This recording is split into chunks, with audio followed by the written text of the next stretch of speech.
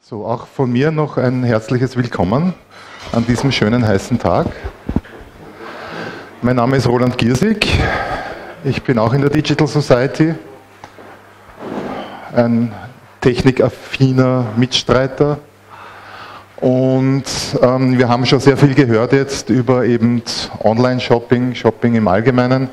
Und ich möchte mich jetzt ein bisschen mehr dem, mit dem Versandhandel beschäftigen und da mit dem äh, speziellen äh, Bereich des Kaufens direkt im Herstellerland. Ähm, wir alle kaufen irgendwo, wenn wir, wenn wir online shoppen, äh, kaufen wir letztlich dann doch im, sagen wir mal, im Bereich der Europäischen Union ein. Äh, die meisten Sachen kommen aber, werden im Ausland hergestellt und kommen irgendwo, werden zu uns her verschifft. Und daher ist es manchmal, kann man sich einmal anschauen, was ist, wenn man es äh, etwas näher beim Hersteller, sage ich einmal, äh, kauft. Wir haben schon einiges über äh, den Versandhandel auch äh, gehört. Früher war es halt der Katalogversandhandel, der hat also angefangen äh, am Ende des 19. Jahrhunderts. Da gab es die ersten Versandkataloge. Richtig groß geworden ist er dann in Deutschland in der Weimarer Republik. Also der Quelleversand und auch, die, auch einige andere Versandhäuser sind in den 1930er Jahren gegründet worden. Äh, ich weiß nicht, wie es euch geht. Ähm, die, der Quellekatalog ist bei meinen Eltern immer zu Hause irgendwo herumgelegen, den hat es also dauernd gegeben. Ich nehme an, kann man gleich fragen, wer von euch hat den Quellekatalog auch zu Hause liegen gehabt in seiner Jugend? Also eh fast alle, ja. Wegschmissen. Also es war, es war, ja auch wirklich eine, eine, Meisterleistung. Man hat den, glaube ich, weiß nicht, vierteljährlich oder mindestens halbjährlich bekommen. 1000 Seiten dick. Äh, tolle Sache, konnte man toll drin blättern. War also bei mir, bei uns ist er meistens auf dem WC gelegen, um, um sich die Sitzungen etwas zu ähm, äh, verkürzen. Ähm, es gab, gab, dann auch, also der hat ja wirklich auch alles eingedeckt. Man konnte da eben äh, von Überkleidung, äh, elektronische Sachen, Spielzeug, alles Mögliche. Es gab dann auch ganz interessante, also ich möchte euch dann auch dieses Bild nicht vorenthalten, vor allem der Gesichtsausdruck hat mir wirklich gut gefallen. Ähm, das war damals noch in D-Mark, ja, aber das war auch damals eigentlich eine Revolution, dass also im, sagen wir, in den prüden äh, Nachkriegsjahren äh, tatsächlich sowas halt schon kam. Ähm, jetzt schaut der Versandhandel äh, wie wir gehört haben, schon deutlich anders aus. Man geht ins Internet, also der, der Katalog wird zunehmend durchs, durch einen Computer ersetzt, durch eine Webseite, wobei es aber noch immer sehr viele äh, Versandkataloge gibt. Also ich weiß nicht, wie es euch geht, aber ich kriege ähm, krieg doch noch immer zwei, drei im Quartal zugesandt, weil ich einfach, weil ich eigentlich, eigentlich nur online bestellt habe, aber trotzdem sich die Leute bemüßigt fühlen, mir einen Katalog zu schicken. Auch okay. Ähm, den, das haben wir schon gesehen, das möchte ich nur noch mal kurz zur, zur Wiederholung bringen. Da sieht man es auch im, im, Vergleich zwischen Österreich und Deutschland und man sieht, bei beiden ist Amazon der führende äh, Online-Versandhändler. Wobei, ähm, eine kurze Exkursion, ähm, das Interessante ist, das habe ich jetzt, das ist zufällig vor zwei Tagen äh, in, in, Twitter in meine Timeline gespült worden. Äh, da gab es eine, eine Konferenz. Ähm, bei der Kundenzufriedenheit findet man in Österreich interessanterweise Amazon nicht unter den ersten zehn im, in ihren Online-Shops. Der, der rangiert irgendwo weiter unten, aber ähm, wenn man sich dann anschaut, äh, vom Bekanntheitsgrad her, äh, jetzt im, im, Vergleich zum Durchschnitt der untersuchten Online-Shops, ist Amazon einfach äh, super. Er wird am häufigsten aufgesucht, es wird dort auch am meisten gekauft und er hat einen sehr großen Stammkundenanteil. Und ähm, fand ich also ganz interessant, wenn man immer sagt, Amazon ist der größte, aber jetzt im Vergleich zur Kundenzufriedenheit, da gibt es offenbar andere, die besser sind. Ähm, ja, also wir gehen jetzt wieder zurück zum, zum eigentlichen Versandhandel. Ähm, für, den, für den Endkunden, der kriegt ja äh, da sehr viel nicht mit. Ja, bestellt irgendwo und dann ein paar Tage oder Wochen später klingelt es an der Haustür, der Paketbote bringt was ab oder er findet es überhaupt im Briefschlitz, im Briefkasten. Ähm, irgendwo gibt es Fabriken, die das herstellen müssen. Es, äh, das muss unter Umständen, wenn es im Ausland produziert wird, über sehr große Distanzen transportiert werden, in riesigen Containerschiffen oder per Luftfracht. Äh, es, irgendwo gibt es Warenhäuser, in denen die zwischengelagert werden und die ähm, und mit, mit LKWs werden die dann weiter, entweder mit Post oder mit Lieferdienst werden die weiter, ähm, äh, weiter verschifft. Und ähm, das ist jetzt dann insofern wichtig, wenn man sich überlegt, okay, wenn ich jetzt tatsächlich im Ausland bestelle, äh, ist das eigentlich eine wahnsinnige Lieferkette, die dahinter ähm, steckt.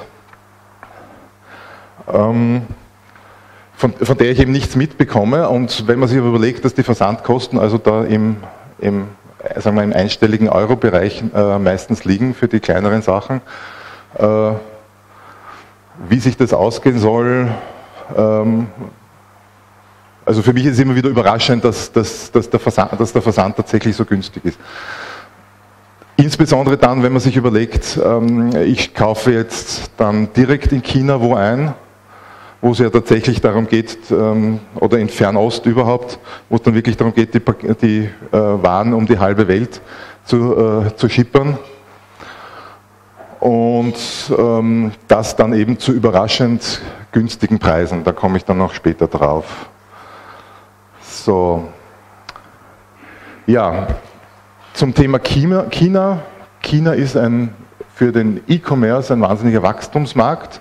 Der hat es jetzt tatsächlich geschafft, äh, mit 2012, 2013 den amerikanischen E-Commerce-Markt zu überholen. Und ähm, wenn man sich so die gefühlsmäßig das anschaut, dann ist da, ist da noch eine, ein exponentielles Wachstum drinnen. Es gab jetzt auch vor, vor kurzem mal, ähm, da äh, gab es eben eine, einen, einen Vortrag vom Chef vom, von Alibaba, äh, dem, dem größten chinesischen Händler, zu dem ich dann gleich komme, der gemeint hat, also sie, ähm, China ist äh, deswegen ein großer Wachstumsmarkt, weil sich dort jetzt beginnt, eine Mittelschicht aufzubauen, die tatsächlich Geld hat, äh, um, um Consumer Products äh, zu kaufen. Nur die haben das Problem, die haben, China ist noch größtenteils ländliche Umgebung das heißt, da hat man ein, ein, Dorf, wo tatsächlich aber auch schon eine Mittelschicht besteht, nur die haben halt nur mehr, die haben halt nur den Kreisler vor Ort. Und da ist jetzt eben die, die, der Ansatz, dort, dort, wird man nie ein großes Shoppingcenter eröffnen können. Das heißt, dort muss dann dieser Kreisler äh, das eigentlich übernehmen. Ähm, die haben dann alle einen Satellitenablink, das heißt, die haben Internet, ähm, haben auch lokal äh, Telefonmöglichkeiten und die bestellen dann eben online äh, ihre Sachen, die werden zu der lokalen äh, Verkaufsstelle geliefert und dort können sich die Leute dann abholen. Also das ist dann, das ist ein doch ein radikal anderer Ansatz als in den dicht besiedelten Industrienationen, äh, den man sich da vor Augen halten äh, muss. Und deswegen ist also China noch ein sehr großer äh, Wachstumsmarkt. Ich werde mich da mit der Alibaba Group äh, näher beschäftigen. Das ist die das ist mittlerweile die äh, größte Handelsplattform. Die hat äh, dieses Jahr Amazon im Umsatz überholt. Das sind also mehrere verschiedene, da gibt es also den, ähm, äh, mehrere verschiedene äh, Subunternehmen, die bieten einerseits auch nur Zahlungen an oder nur eigene Webshops ähm, oder eben äh, solche Marketplaces, wie das auch äh, Amazon macht. Ich werde mich dann hauptsächlich mit AliExpress ähm, beschäftigen, der steht da irgendwo in der Mitte, ähm, im, im Vergleich eben zum, ähm, die haben also eine, eine ziemliche, äh, ein ziemliches Wachstum in den letzten Jahren hingelegt. Das sind also im ähm, Moment Milliarden Euro Umsatz. Äh, wobei sie also ihren Hauptumsatz in China machen und der internationale Umsatz noch relativ gering ist. Aber das soll sich stark ändern, äh, weil der Chef von der Alibaba Group hat gesagt, sie wollen jetzt eben auch mehr nach Europa kommen. Das wird jetzt noch ganz interessant. Wenn man sich im Vergleich anschaut zu Amazon, dann sieht man schon, dass sie 2016 ähm, die 100.000, das ist das jetzt, ich nehme an, das ist US-Dollar, geknackt haben. Äh, Amazon liegt ähm, liegt da auch ungefähr bei, bei 100.000. Also sie sind gerade so im, im, Überholen. Was ganz interessant ist, was ich was ganz interessant finde, äh, ist das Nettoeinkommen und, und die Gewinnmarge, die da drinnen steckt. Amazon ähm, investiert praktisch alle, alle Gewinne so weiter in ihr Wachstum. Äh, ähm, Alibaba hingegen weist äh, ziemlich große Gewinne aus, interessanterweise, und zahlt auch äh, ungefähr 11 Prozent Steuern. Also die weisen, ähm, wie viel war es? Die haben ungefähr 20 Prozent, ja, da müsste man eh, da müsste man es eh sehen, Profit Margin, also liegen irgendwo zwischen 25 und 75 Prozent. Ähm, vom, vom, vom Umsatz weiß ich jetzt, habe ich es jetzt nicht genau im Kopf, aber sie zahlen, äh, zahlen also ich möchte jetzt nicht sagen im Gegensatz zu Amazon, aber sie zahlen brav, relativ brav Steuern, weil 11 Prozent äh, in, in dem Bereich abzuliefern ist, ist schon relativ gut. Ja? Über Alibaba, also es gibt beim Alibaba, ja, muss ich auch gleich ähm, erklären, Alibaba gibt es also bei uns im Internet, muss man sagen, gibt es zwei verschiedene äh, Plattformen. Das eine nennt sich alibaba.com, das ist aber Business to Business. Das heißt, dort findet man äh, chinesische Hersteller und chinesische Großhändler, ähm, wo es eben um größere Stückzahlen geht. Da kann man sich also äh, äh, lokal als, sich als Importeur praktisch bei denen dann melden und mit denen eine Geschäftsbeziehung auf, aufbauen. Und es gibt AliExpress. Und das ist, das ist also Business to Customer, ähm, äh, wo sich also äh, weniger die Hersteller, aber eben die, die sagen wir, Kleinhändler und kleine, äh, kleinere Shops drinnen finden oder auch größere Shops, also äh, auch Großhändler finden, die das dann eben international weiterverkaufen. Ähm, auch nach Österreich, also weltweit, auch nach Österreich, wobei die haben einen äh, relativ großen Markt Richtung Russland, interessanterweise, weil das doch offenbar irgendwo ähm, auch von der geografischen Seite irgendwo irgendwie, irgendwie näher liegt. Ähm, ja, da kann man, da kann man wunderbare Sachen äh, äh bestellen. Komme ich gleich vielleicht dazu. Also an, angefangen habe ich, äh, bin ich darauf aufmerksam geworden, bin ich mit, mit LED. Ich bin ein großer LED-Freak. Es gibt so schöne LED-Lampen oder es gibt auch die Taschenlampen, die also nicht, nicht gerade schwach sind. Und es gibt äh, Laserpointer, das ist jetzt ein blauer, ja, der sieht man, sieht man gar nicht so, so gut, aber wenn man einen roten und einen grünen hat, braucht man einen blauen auch. Also das ist aber es gibt dann eben auch die, Moment, die etwas stärkeren Laserpointer, mit denen man dann, also ähm, mit dem kann man jetzt noch keinen Luftballon zerplatzen lassen, aber der hat, äh, ist, ist schon in einem Bereich, der, äh, wo man ihn eigentlich nicht mehr bekommt. Ähm,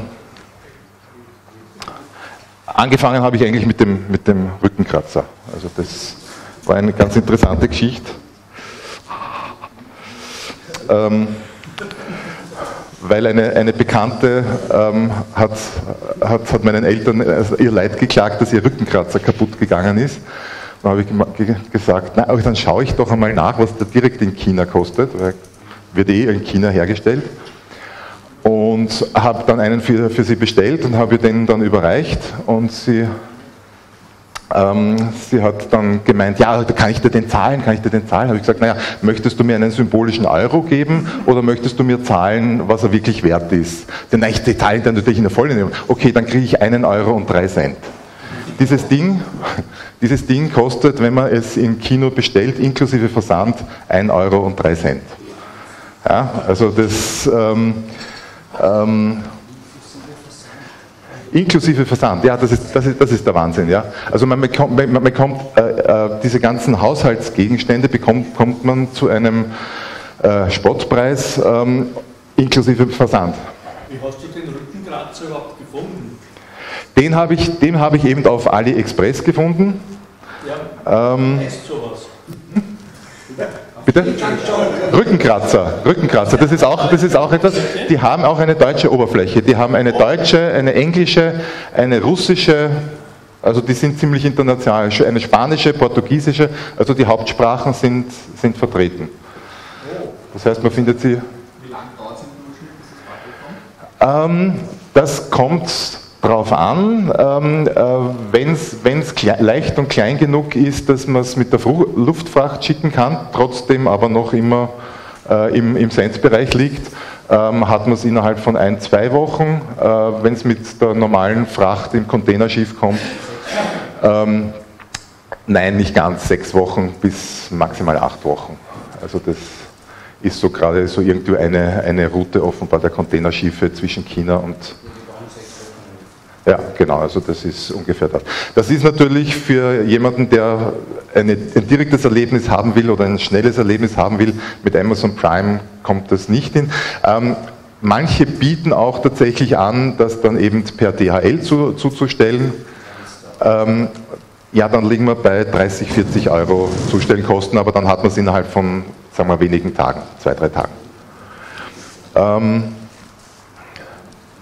was auch noch äh, vielleicht ganz interessant ist, ähm, ja, eben, um, um, auf, die, auf die Kosten zu kommen, äh, diese Dinger kosten meistens deutlich unter der Hälfte, wenn man sie also hier irgendwo im Laden äh, kaufen würde.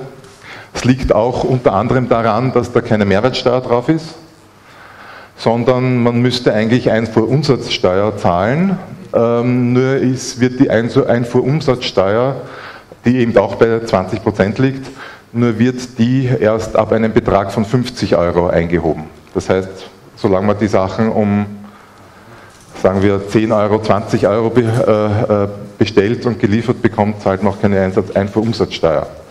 Ähm, das wird, das wird vom Zoll überprüft, also alle diese Päckchen gehen durch den Zoll und der schaut drauf, aha, Wert, was steht da drauf? 1 Euro, danke, ähm, ich habe ich hab mal auch eine, eine, äh, so eine Action Cam gekauft.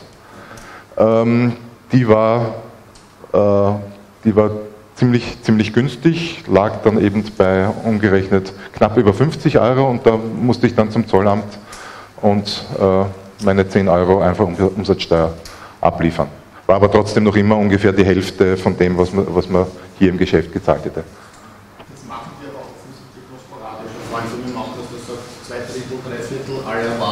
sind falsch an, äh, ja. und äh, erzeugt keine.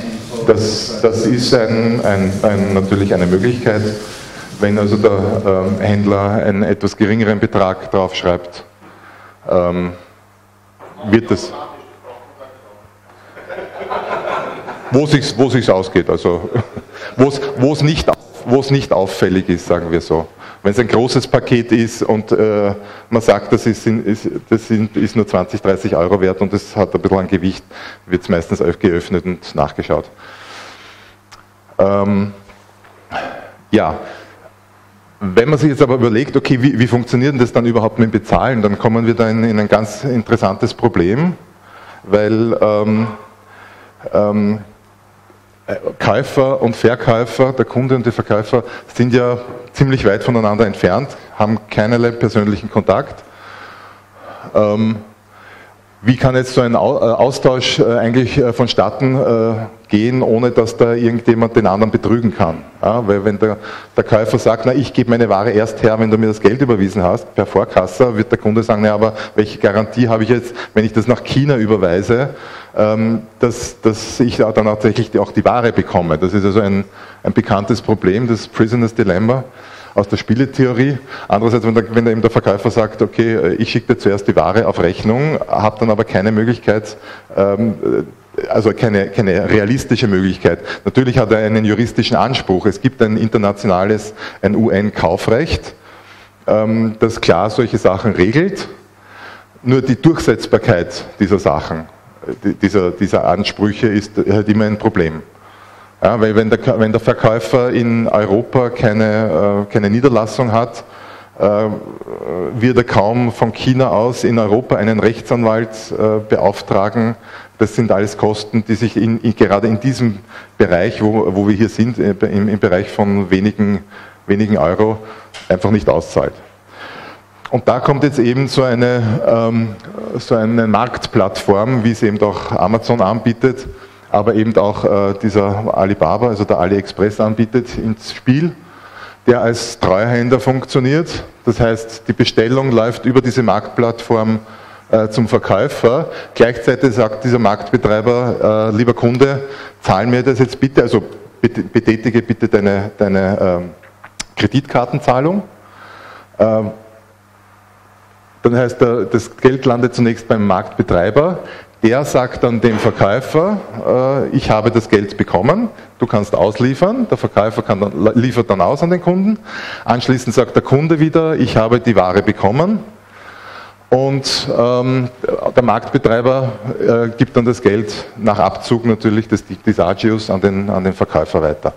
So, fun so funktioniert es, äh, wenn es reibungslos ist. Ähm, hier noch einmal dargestellt.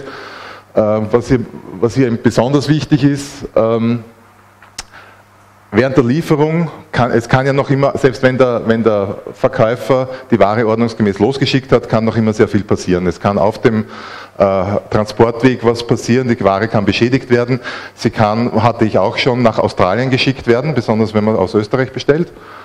Ähm, es, oder sie verschwindet einfach überhaupt. Bitte? Ähm, ja, das heißt, äh, der Kunde, und, das heißt, der Kunde nimmt dann die Ware entgegen und muss sie zunächst einmal prüfen, ist das überhaupt das, ähm, was ich denn da bestellt habe? Ähm, ist sie rechtzeitig eingelangt?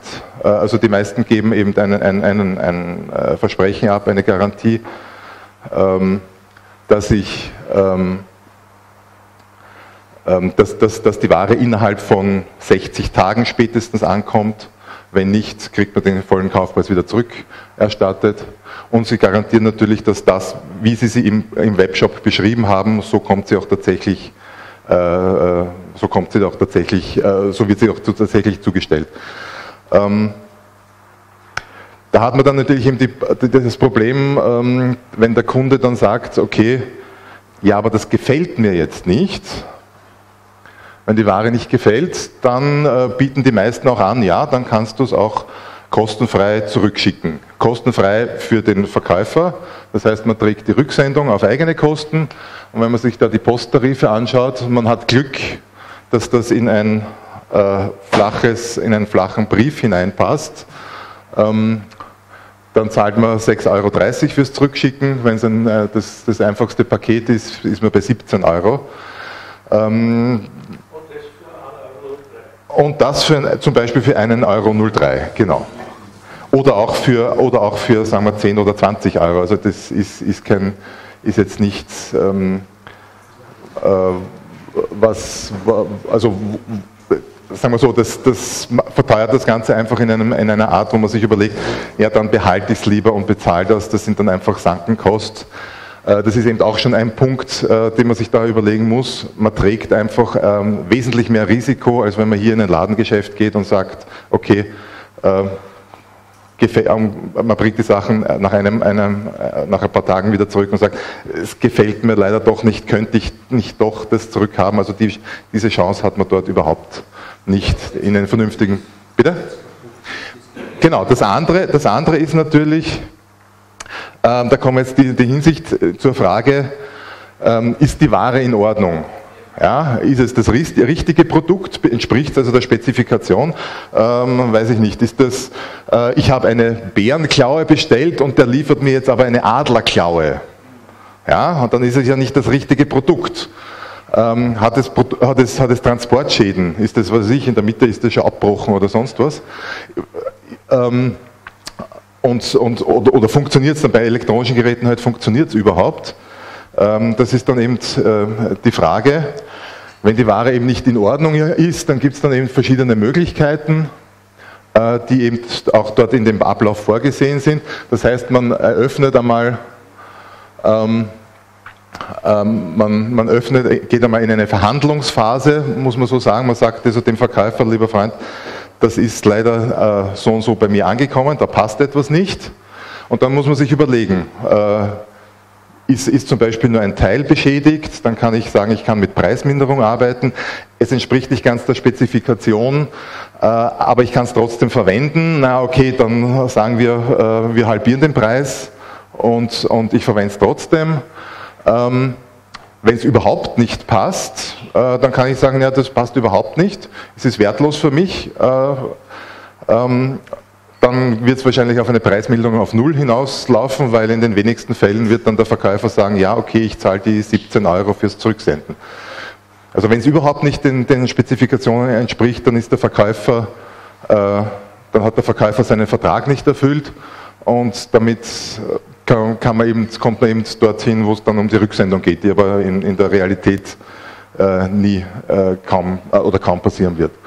Problematisch ist dann immer die Beweisführung, weil wir sitzen wieder am anderen Ende der Welt. Das heißt, da ist es äh, sehr empfehlenswert, wenn man schon vor dem Auspacken das Paket äh, abfotografiert, filmt, um zu zeigen, dass außen keine Transportschäden sichtbar sind, zum Beispiel. Weil wenn Transportschäden äh, sichtbar sind, muss man sofort beim, bei der Post oder beim, beim letzten Zusteller reklamieren. Ähm, dann eben das Auspacken zeigen, dass das, äh, um, um, zu dokumentieren, in welchem Zustand das angekommen ist, falls da eine, eine Transport, ein Transportschaden äh, sichtbar ist. Und dann halt, wenn, es um die Funktion geht, dass man halt in einem Video zeigt, okay, äh, weiß ich nicht, ich nehme die Glühbirne, ich habe eine, eine leuchtende Glühbirne in einem Sockel, ich schraube die heraus, stecke die neue Glühbirne hinein und die funktioniert nicht.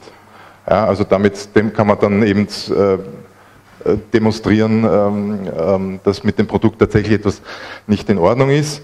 Ähm, ich gehe jetzt mal durch ein paar Produkte durch, wo wir, Entschuldigung, 1,09 Euro, nicht 1,03 Euro, 1,09 Euro.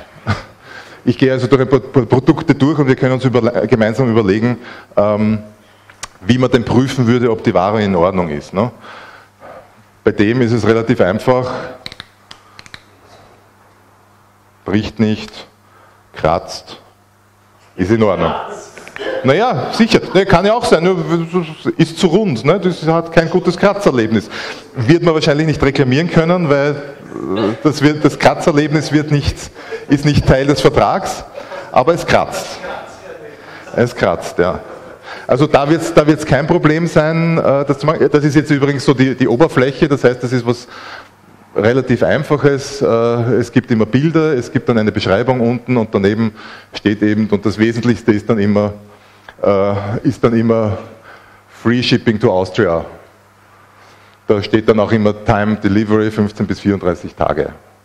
Das heißt, Sie, haben, Sie haben immer eine Zeit, bis Sie, bis, äh, eine, eine, Zeit, bis Sie den, sozusagen das rausschippen, raus, rausschicken und dann eben eine Zustellzeit, die ist, die ist da immer angegeben.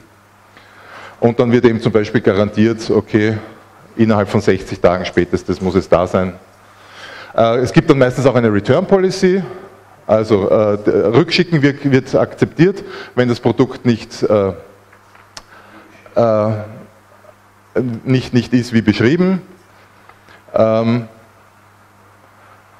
äh, also das ist jetzt hier abgeschnitten. Also ähm, wenn es nur der, nur der Käufer auf seine, kann es auf seine Kosten zurückschicken, äh, die, die sozusagen die unverwendete Ware, äh, oder eben man, man behält es und arrangiert sich mit dem Verkäufer.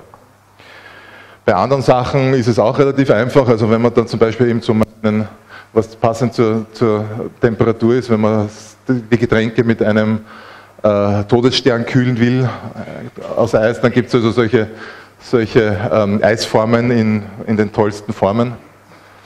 Kann ich übrigens empfehlen, also ist sehr gut für Whisky, weil er relativ groß ist, aber eine, eben eine relativ kleine Oberfläche hat und daher den, das nicht so schnell verwässert, das, das Getränk. Ähm, da ist es auch relativ, das ist, das ist aus, aus, aus Silikon, Eis, Eiswürfelmacher. Also aus Silikon, den man zusammen macht, dann von oben Wasser einfüllt, ins Gefrierfach packt und dann eine. Also ich habe bis jetzt noch nicht geschafft, es eine so klare Ding zu machen. Da muss man wahrscheinlich abgekochtes oder destilliertes Wasser nehmen, wo wenigstens, weil sonst meistens ist es sehr milchig. Aber okay. Also da, da sieht man auch zum Beispiel, dass, dass da hier da das Shipping noch nicht, äh, nicht drinnen ist. Daher ist es auch relativ, relativ teuer. Ähm, also einige, einige von den Händlern haben sich auch tatsächlich schon äh, preislich angepasst und wissen, äh, dass die, wie soll man sagen, die, die Industrienationen einen wesentlich höheren Preis bereit sind zu zahlen. Man findet solche Sachen auch um, um, um 2 Euro, 3 Euro. Ähm, also inklusive Shipping. Also auch das ist schon ein relativ hoher Preis. So, was gibt es noch? Dann gibt es also so äh, Wandsticker, die kommen dann also immer so als, als Rolle verpackt. Äh, daher sind relativ schnell, weil sie relativ leicht sind. Die gehen, gehen auch gerne mit der, ähm, mit der Luftfracht mit, weil die halt dann unter 20 Gramm sind oder was de, de, das Limit ist. Ähm, da ist es auch relativ leicht, das festzustellen, äh, ist die Ware in Ordnung. Ich versuche es halt einfach mal abzulösen, klebe das Ding und dann passt das. Das ist das richtige Motiv. Ähm, interessanter wird es dann zum Beispiel schon bei Online-Schmuck, also beim, beim Online-Kauf von Schmuck. Ähm, Gibt es also die wildesten äh, Sachen, mit denen man sich irgendwie äh, verschönern kann. Entschuldige, du hattest eine Frage? Was steht dann dabei, wenn, wenn der Transport nachher erst dazu gerechnet wird? Wenn ich also beim, beim Übernehmen der Ware zahlen muss, gibt es das da auch beim Alibaba? Nein, bei, bei, bei, also als, als Nachnahmezahlung wüsste ich jetzt nicht. Nein. Also es gibt. Das, das, also, nein, die, die, das ist die Art der Bezahlung. Also das per Nachname ist, ist jetzt nicht die Zustellung, sondern die Art der Bezahlung. Ähm, bei den Zustellungsmöglichkeiten habe ich bisher eben nur gefunden, also es wird meistens eben per Post zugestellt und da eben äh, meistens über den langen Lieferweg. Ähm, alternativ eben über DHL Worldwide oder andere äh, Zustelldienste, die aber eben entsprechend sehr teuer sind. Also ich habe ich hab, hab ich auch schon gesehen, dass ich ein, ein, irgendein Produkt ähm, um 1, 2 Euro ähm, mit DHL um 44 Euro Versandkosten. Ja, also da denke ich mir, was? 46 Euro für das Ding? okay. Ähm, ja. Hauptsächlich Kreditkarte. Also äh, PayPal gibt es, ja, ja, PayPal gibt es auch. Also, aber PayPal, ja, PayPal rechne ich zur, zur Kreditkarte, wobei nicht mehr, auch nicht mehr. Ja, das ist auch natürlich ein Problem, wobei aber diese Kreditkartenzahlung eben, äh, die geht äh, direkt an Alibaba, also an, an, an den AliExpress. Der bucht von der Kreditkarte ab und bucht es dann weiter. Also das ist kein direktes äh, Durchreichen der Kreditkartendaten an den Endverkäufer. Das gab es, glaube ich, am Anfang einmal. Da, ich, da, hatte ich dann tatsächlich für, jede, für jeden einzelnen Item eine Abbuchung, aber das haben sie dann, glaube ich, aufgehört, weil das eben wegen, wegen, äh, ähm, wegen Missbrauch natürlich ein großes Problem ist. Ähm, zum Thema Kreditkartenzahlung. Ähm, ich habe mir jetzt in Deutschland eine Kreditkarte genommen also das hat jetzt nicht damit unbedingt zu tun, äh, nennt sich Number, Number, äh, Number 26. Äh, eine, eine, eine, genau, also eine Mastercard, die aber als reine, als reine ähm, Debitcard verwendet wird. Das heißt, man muss, muss sie vorher aufladen. Es kann nur das abgebucht werden, was drauf ist. Und sie haben ein wahnsinnig gutes, äh, eine wahnsinnig gute App, wo man äh, diese Karten äh, sozusagen on the fly sperren und entsperren kann. Du kannst man kann sie freigeben für, für Bargeld, für Online und im Ausland. Ähm, und ich habe sie also normalerweise alle, alles gesperrt und erst wenn ich einen, einen Bezahlvorgang anstoße, dann schalte ich halt ein äh, äh online äh, im Ausland. Äh, dann gibt's, dann authentifiziert der das gegenüber dieser Bank. Ähm, äh, und dann kann ich sofort wieder abschalten. Also dann äh, auf die Art kann also nie jemand anderer, der kriegt dann immer nur ein, eine, eine Fehlermeldung, wenn er versuchen würde, da was abzubuchen. Number 26, Nummer 26. Das ist. Was kostet die Karte? Nichts. Und wie viel Prozent Abzug? Beim, beim Verkäufer, das weiß ich nicht. Also ich, ich, oder was? Das ist eine. Wenn man die Summe aufbucht, Fitbit gibt es auch in Österreich? Nein, ja, nicht gratis. Also für den, für den Endkunden gratis. Die äh, leben nur von diesen, äh, also es ist eine normale Mastercard äh, und die leben nur von den normalen Kreditkartengebühren. Also ist die, und, und es geht alles online. Ja, also äh, normalerweise muss man ja, wenn man eine, eine Kreditkarte haben will, sich gegenüber der Bank authentifizieren oder sonst irgendwie. Ähm, dort funktioniert das Ganze online. Das heißt, man lädt sich diese App auf sein Smartphone, ähm, braucht einen Reisepass, äh, startet den, den, den äh, Authentifizierungsvorgang, dann kriegt man einen Videoanruf von eben einem Callcenter, denen hält man, äh, hält man also den Pass äh, vor, die, vor die Kameralinse, die machen einen, einen Screenshot davon. Ähm, man wird noch um, um, die Bestätigung der verschiedenen äh, persönlichen Daten, äh, die Sie halt haben wollen, Geburtsdatum und so weiter, äh, gebeten und dann ist, das, ist diese Authentifizierung innerhalb von nicht einmal zehn Minuten passiert und man hat eine Kreditkarte. Die Kreditkarte kommt in den nächsten zwei Tagen per Post, die physische. Man kann sie auch dann, äh, gibt auch ein, ein Girokonto dazu. Also man, äh, die haben also wirklich, muss ich sagen, das, das Online-Banking noch einmal, ähm, äh, sagen wir nochmal, gestreamlined. Also das ist gegenüber dem MyGeorge ähm, wobei ich sagen muss, ich kenne MyJobs jetzt nur nicht, nicht, nicht im Detail, aber doch nochmal deutlich einfacher. Man kann einfach nur hin, auch, man kann es auch dann auch, ähm, äh, dieses Konto auch als ganz normales äh, Überweisungskonto verwenden im Prinzip. Das ist auch ganz interessant. Gut, äh, können wir uns ja dann auch gerne in der, in der Pause weiter unterhalten. Ähm, zurück zum eigentlichen Thema. Ähm, bei Schmuck wird es vielleicht insofern schon interessanter, weil gerade wenn es so ein Ohrstecker ist oder so, ähm, ist das halt Modeschmuck und da ist halt dann die Frage, äh, ist der wirklich nickelfrei, wenn dort steht nickelfree, nickelfree wie, wie, wie probiere ich das aus? Das kann ich mir auch sagen, okay, ich probiere ihn halt einmal, kriege dann eine Allergie drauf, ähm, sagt dann, der ist aber nicht nickelfrei, dann wird der Verkäufer vielleicht sagen, ja, aber der ist nickelfrei, Sie müssen auf irgendwas anderes allergisch sein.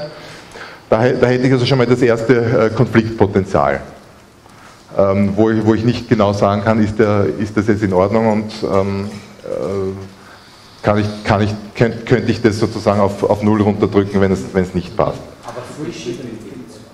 Aber Free Shipping, genau. Ähm, andere Sachen sind dann elektrische Sachen, das ist also so ein, ein, äh, ein, ein, ein, Konverter zwischen E27 und E14, na, das ist E14 auf GU10, das ist auch was, was man manchmal braucht. Und äh, um den Preis findet man es halt in keinem Baumarkt, wenn man es überhaupt findet. Der ist no longer available, ja. Das passiert, das ist eben auch etwas, da komme ich auch noch dazu. Ähm, ähm, das ist dann halt so Gewährleistung. Da sollte man glauben, ist es auch ganz einfach. Das ist die hier. Ähm, weil wenn die kommt, stecke ich sie hinein, leuchtet, okay, passt, hacke ich ab, der Verkäufer kriegt sein Geld. Ähm, die hatte ich die hatte ich dann ein paar Wochen in einer Lampe drinnen, wo sie immer wieder ein- und ausgeschaltet wurden. Und irgendwann, wenn man sie eingeschaltet hat, hat sie zuerst gebrannt, dann hat sie angefangen zu flackern. So. Ist, äh, da ist irgendwo unten ist ein kleiner äh, äh, Trafo drinnen, ein, ein Schaltnetzteil, ein, ein Mini-Schaltnetzteil und da wird halt irgendein Kondensator oder irgendein Bauteil was haben. Ähm, da ist, das ist dann halt das Problem, äh, wie reklamiere ich sowas? Komme ich da noch später drauf? Äh, oder ich habe da so einen USB-Stick, einen Memory-Stick. Das ist so ein kleines Wimmerl, habe ich mir gedacht, wäre doch recht praktisch. Ähm, habe das einmal bestellt, weil um den Preis äh, kann nicht viel verhackt sein. Ähm, war glaube ich nur 8, 8 GB, das kostet dann glaube ich 3 Euro oder so.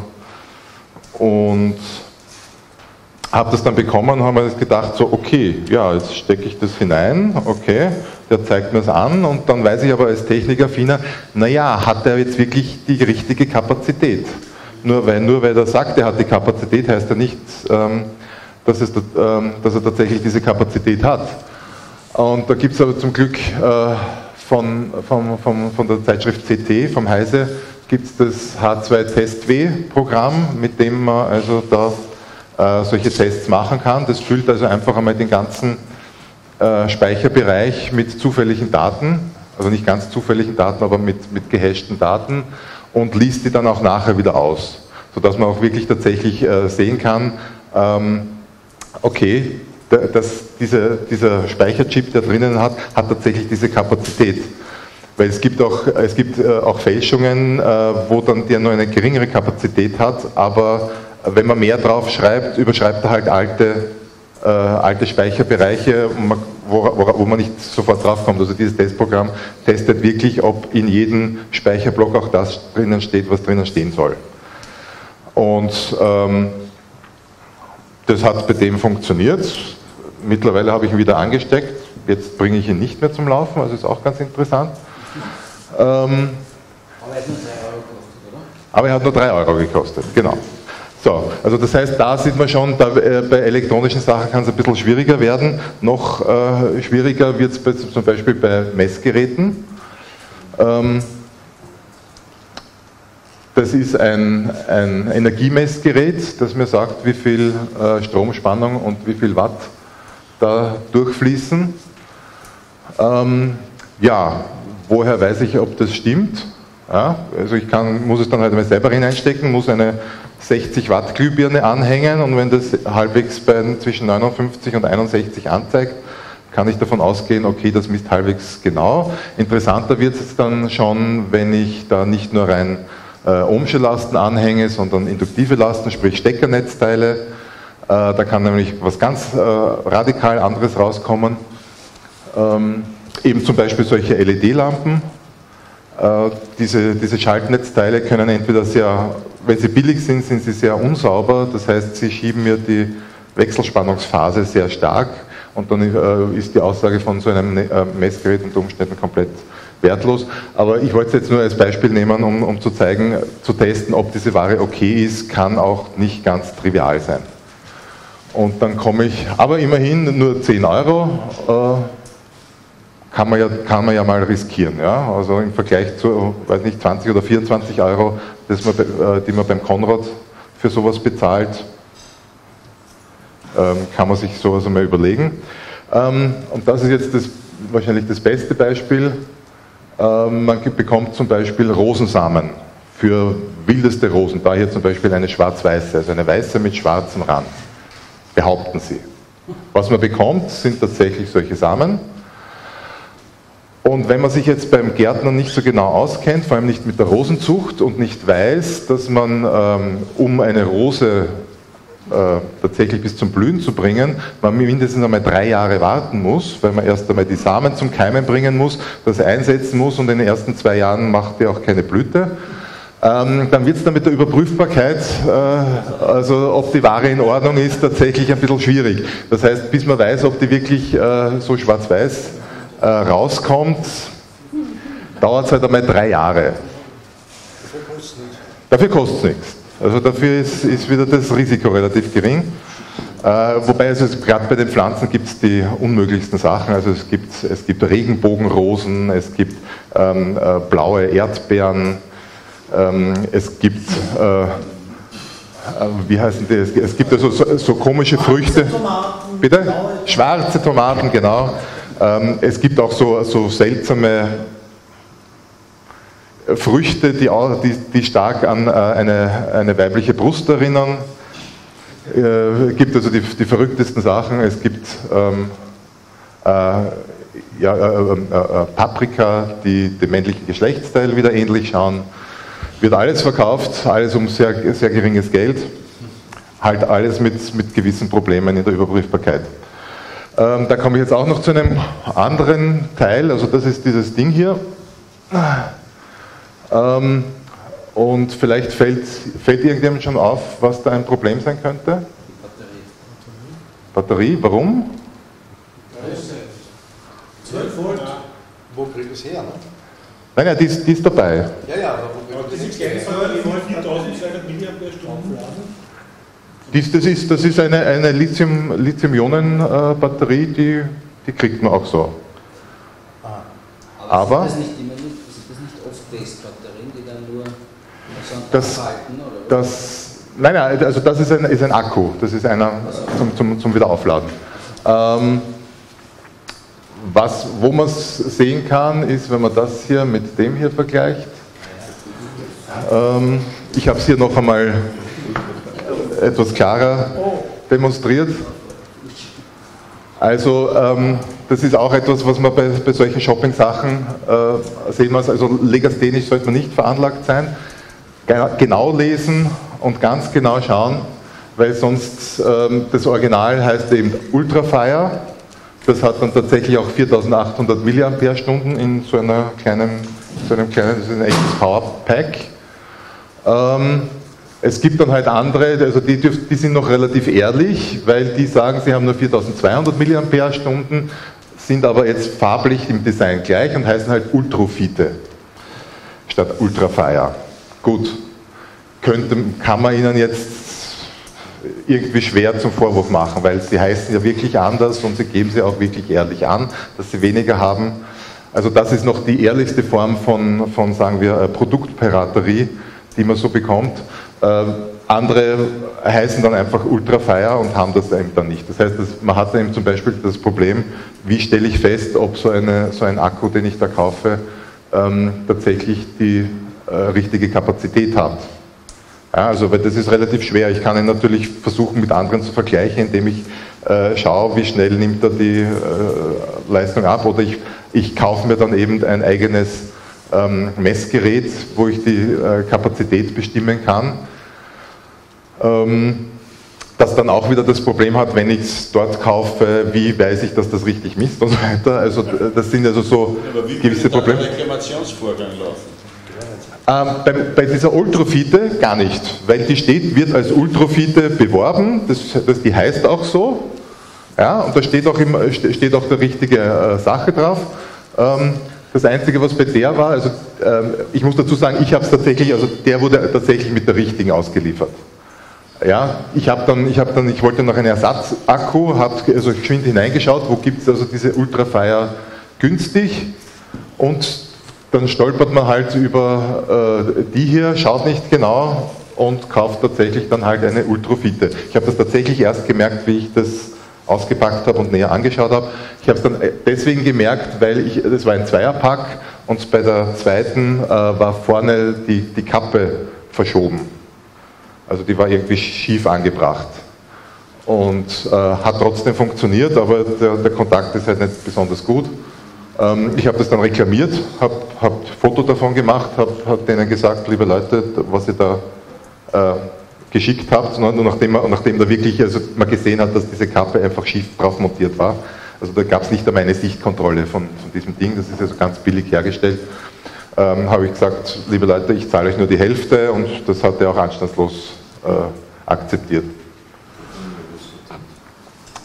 Da ist dann eben, jetzt kommen wir dann eben zur, zur nächsten Frage, zum, zum Thema Garantie. Also zu, in dem Fall äh, gibt es eben eine äh, Echtheitsgarantie, die sehr viele abgeben, die sagen, also ich verkaufe hier keine äh, gefälschten Sachen. Das ist also, ähm, also wenn, wenn diese Marke draufsteht, dann ist das auch wirklich äh, von diesem Hersteller produziert. Ähm, wenn das nicht so ist, äh, kann man, wenn dann muss man eben nachweisen, dass das nicht keine, kein Original ist und dann bekommt man sein Geld wieder zurück. Ähm, und dann gibt es halt die, ähm, die Rückgabe- und Refundierungsgarantie, die eben so ausschaut, wenn ich nachweisen kann, wir hatten vorhin diesen Ablauf schon mal kurz eingeblendet, wenn ich nachweisen kann, dass das Produkt eben nicht funktioniert, also nicht den äh, Spezifikationen entspricht.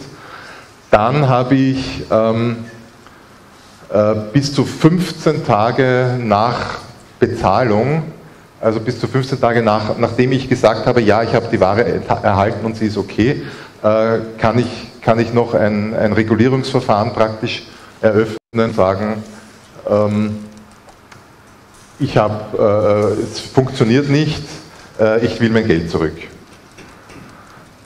Ähm, das heißt, das ist eben der große Unterschied, äh, wenn man hier in, in, Österreich einkauft oder innerhalb der Europäischen Union einkauft, dann habe ich äh, sechs Monate Garantie, äh, direkt und zwei, zwei Jahre für, für versteckte Fehler. Ich kann, ähm, ich kann wenn es mir nicht gefällt, ohne Angabe von Gründen innerhalb von 14 Tagen das Ganze zurückschicken und bekomme äh, mein Geld zurück. Das habe ich hier im Wesentlichen auch, nur, ähm, ähm, äh, nur kostet es mich da halt die, Rück, äh, die Rückschickungsgebühr, die ist wesentlich höher. Bei uns ähm, bin ich mit 5 Euro dabei für ein, für ein Paket, dort halt erst ab 17 Euro. Das sind also die Unterschiede, die man äh, sich da auch hinsichtlich der Garantie überlegen muss. Und ein ganz wesentlicher Punkt, der ganz gerne äh, vergessen wird, es ist erst vor zwei Tagen durch die Medien gegangen, Produkthaftung. Was ist, wenn das Produkt so fehlerhaft ist, dass es mir etwas anderes beschädigt? Das ist also ein, eins dieser Hoverboards, dieser, äh, äh, wie soll man sagen, ähm, äh, Skateboards, elektronischen Skateboards, wenn man so will, ähm, das beim Aufladen angefangen hat zu brennen. Das kann übrigens bei jedem äh, Lithium-Ionen-Akku passieren.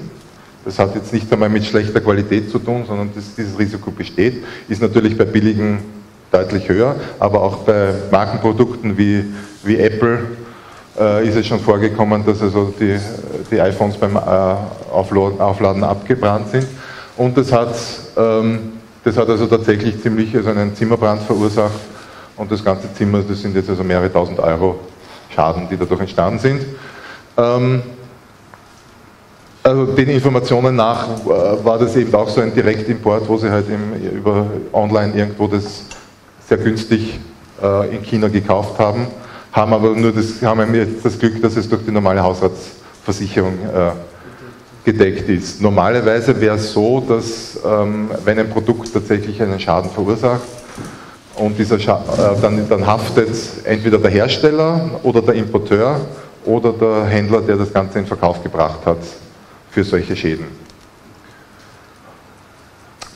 Nur eben bei Direktimporten ist man selber der Importeur und bleibt einfach solche Sachen einfach sitzen.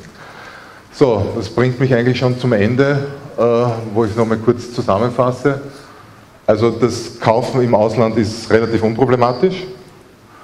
Es ist deutlich günstiger, also man zahlt wirklich weniger als die Hälfte, weil man sich eben auch unter Umständen die Mehrwertsteuer und auch die Einfuhrumsatzsteuer äh, erspart. Man hat Probleme unter Umständen äh, mit den längeren Lieferzeiten.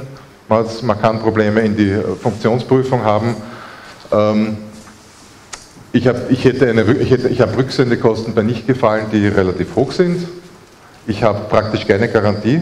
Also innerhalb von 15 Tagen, wenn mir das Gerät erst nach später, also diese, diese Lampe, ich könnte jetzt mich wahrscheinlich versuchen, mit dem Hersteller in Verbindung zu setzen und zu sagen, bitte, die funktioniert, die habe ich bei dir gekauft, die funktioniert jetzt nicht. Schick mir eine neue. Ob er da halt darauf überhaupt reagiert, ist halt sehr, sehr fraglich. Oder ob, ob ich überhaupt mit ihm in Kontakt treten kann, weil er seinen Webshop da bei AliExpress vielleicht schon wieder gekündigt hat und unter anderem Namen wieder aufgemacht hat. Ähm, ist also sehr, sehr äh, problematisch und keine Produkthaftung. Äh, wenn tatsächlich äh, gerade so ein elektronisches Gerät mal abbrennt oder sonst irgendwie anderen Schaden verursacht, habe ich keine Chance, das irgendwo, wenn es nicht durch eine andere Versicherung gedeckt ist, einzubringen.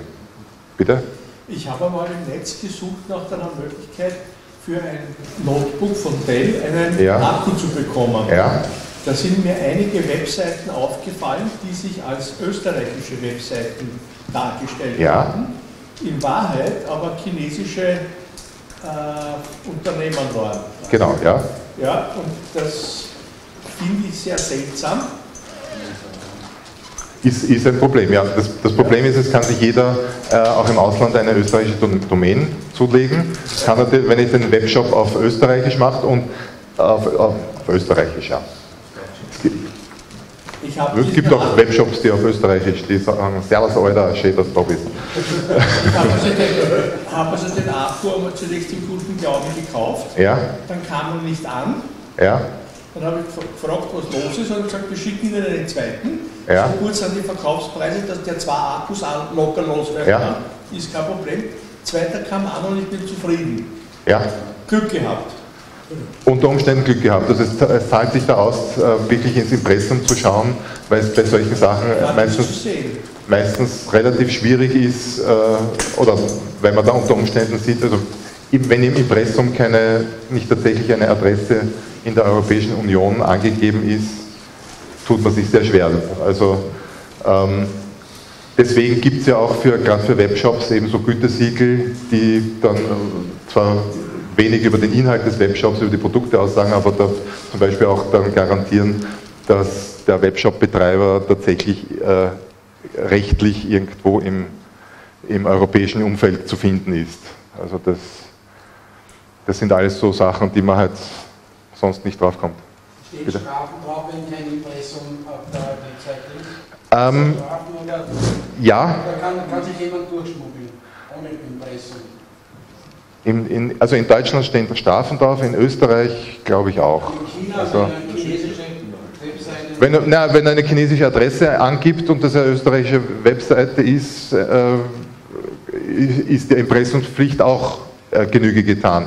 Äh, schwieriger wird es, wenn das, was im Impressum steht, äh, nicht in der Realität zu finden ist. Das ist erstens sehr schwer nachzuprüfen ähm, und ist natürlich auch strafbar, aber wenn der nur in China sitzt, würde er, sich sagen, okay, ähm, schert mich nicht. Ja. Also das ist, ähm, also mein Fazit ist, es kommt drauf an, äh, es kann Sinn machen für einige Sachen, äh, kriegt man da wirkliche Schnäppchen, auch äh, ausgefallene Sachen, die man sonst innerhalb der Europäischen Union auch nicht findet. Ähm, aber wenn man im Inland kauft, äh, hat das einfach den, den Sinn, also der, der, ein, der, Importeur trägt einfach das Risiko für, dafür, dass das, dass das Produkt auch tatsächlich passt. Ähm, und dafür verlangt er dann eben den entsprechenden Aufschlag von eben äh, unter Umständen 100 Prozent, also er verkauft es doppelt so teuer, einfach weil er solche Probleme hat, ähm, weil er diese Risikoversicherung praktisch trägt. Ja. Wobei man als, als, als, als größerer Importeur äh, geht man dann ja auch nicht direkt, äh, geht man auch nicht zu irgendwelchen Zwischenhändlern, sondern geht meistens direkt zum Hersteller und sagt, ich, äh, schick, schick, mir halt einmal ein paar tausend Stück davon und hat dann auch bessere Verhandlungsmöglichkeiten zu sagen, äh, ja, aber davon, die haben jetzt alle nicht gepasst, bitte austauschen und so. Also das, das ist dann wieder auf, einem, auf einer anderen Ebene. Aber ein, ein Fazit ist eben, da, dass man da ähm, rechtlich äh, sich relativ äh, in einem, nicht, nicht unbedingt luftleeren, aber in einem sehr freien Raum bewegt, wo es tatsächlich ähm, nur die Macht des Faktischen ähm, zählt. Und das ist in dem Fall eben dieser Marketplace, der als Treuhänder fungiert für mein Geld und das Geld geht erst dann weiter, wenn ich sage, die, die Ware ist in Ordnung. Nochmal zurück zu dem Affenkauf. Ja? Ich habe ja gar nicht gewollt bei irgendeinem chinesischen obskuren Händler, mhm. sondern bin auf die österreichische Webseite quasi hereingefallen. Ja. Zum Glück ohne Schaden. Interessanterweise waren die Google-Ergebnisse äh, alle äh, so hingepusht, dass diese äh, Firmen, ja. bei der ich dann letztlich bestellt habe, ganz, oben, ganz oben, ja, genau. Äh, zu finden waren. Dann war noch Amazon zu finden mit Akkus, aber Ali, AliExpress war überhaupt nicht zu finden. Ich, ich weiß auch nicht, ich glaube auch nicht, dass AliExpress äh, irgendwie im, im, Google, im Google irgendwie großartig vorkommt. Das ist, gibt es auch nicht. Also. Also die, die betreiben, also entweder versuchen sie dann noch keine Webseitenoptimierung zu betreiben oder, äh, oder wobei es eben interessant ist, bei Amazon äh, findet man in Google, äh, das heißt... Äh, Vielleicht ist Österreich einfach nicht so interessant am Markt im Moment. Das ist ja auch für Sie. Ja. Aber bei Google, Google also ist sehr stark darauf äh, Rücksicht, wo du bist. Und versucht ja. die Ergebnisse dem anzupassen, wo du bist. Und nachdem du nicht in China bist, kriegst du wahrscheinlich auch den Versand ja. weniger. Also das also ist auch eine Hypothese. Das kann ja sein, dass der Standort. Das ist der Standort, dein Standort. Google weiß ja, wo du bist. Ja, das kann sein, dass also das mit dem Standort zusammenhängt. Ähm, ich habe ich hab, ich hab Sachen von AliExpress schon im Google gefunden, allerdings nur bei ganz obskuren Sachen, wo es sonst keine anderen Treffer gegeben hat. Bitte? Amazon kippt auch äh, ganz schön Geld in äh, Google-Werbung. Bei den Google-Resultaten sind meistens die ersten zwei, drei bezahlte Werbung steht da dabei. Ja. Und das sind auch oft Google bezahlte Werbungen, die man oben findet. Ja. Das heißt, wenn AliExpress null Geld dort einkippt, dann kommen sie halt auch nicht vor. Wahrscheinlich, ja.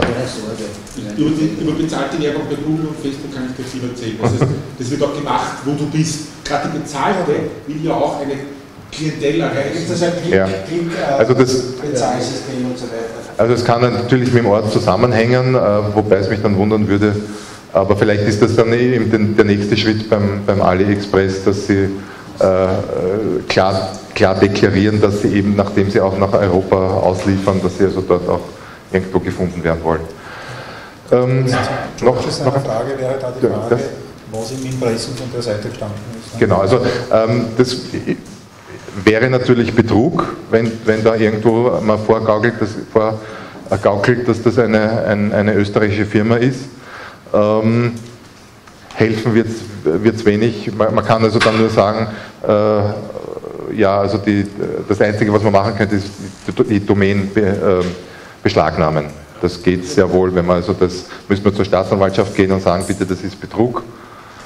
Ähm, dann wird die Staatsanwaltschaft sagen, dass, er müssen Sie mir jetzt erklären, wie das ist mit Online und Betrug und mit und Webseite und was haben Sie da gemacht genau und so. Ähm, ne?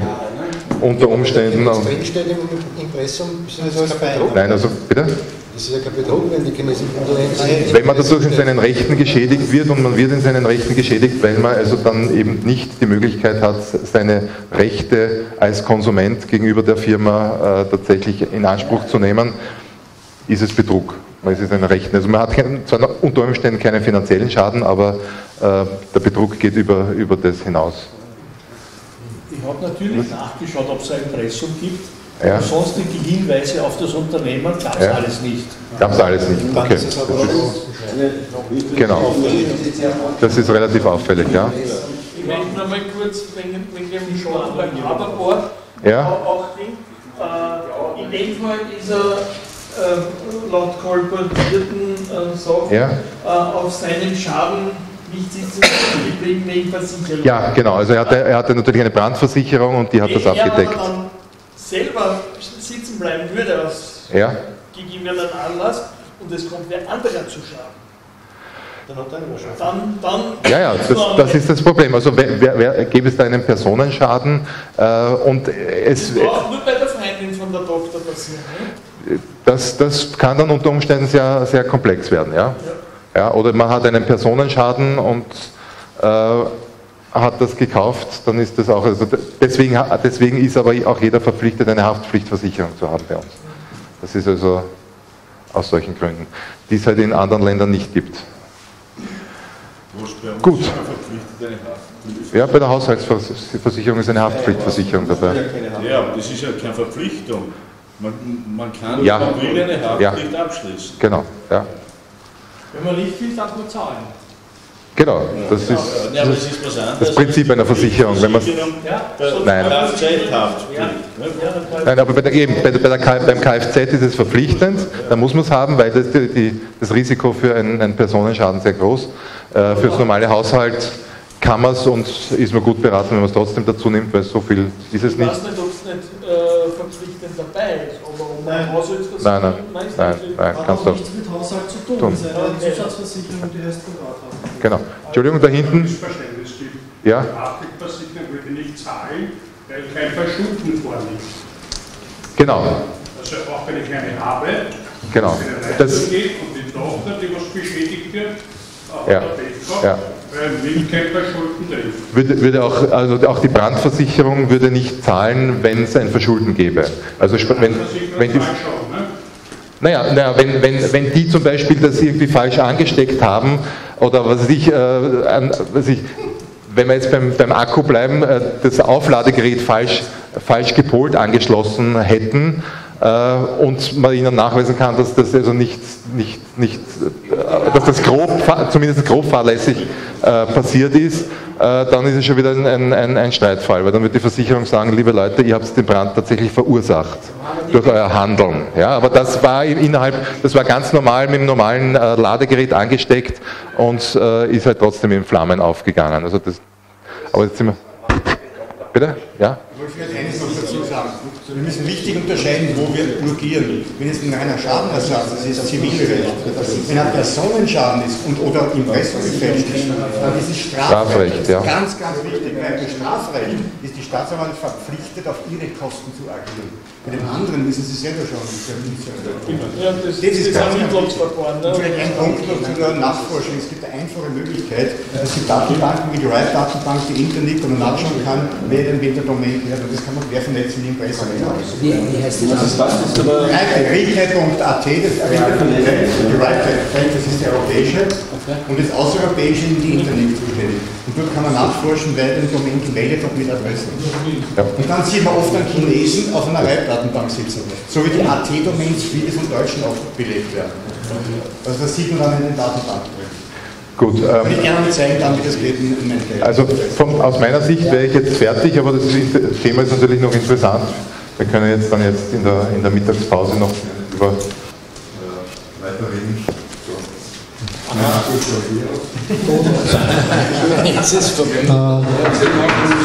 danke für den Vortrag.